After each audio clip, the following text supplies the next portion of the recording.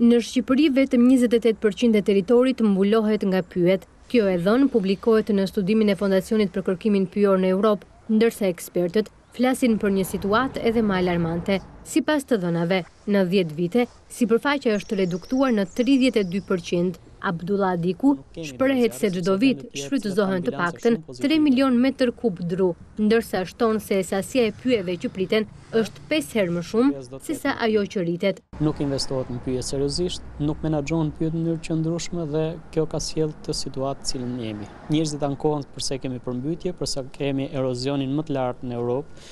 Shkaku është pikërisht kjo, pra dëmtimi dhe degradimi i vazhdueshëm që i kemi bërë Fondit Pyjor Kombëtar. Prej dy vitesh në Shqipëri Ka hyrë në fuqi moratoriumi për pyjet, por ashtu siç dëshmon kjo video, e siguruar nga Ora News, pemët vijojnë të priten, madje edhe të transportohen rrugëve të qytetit.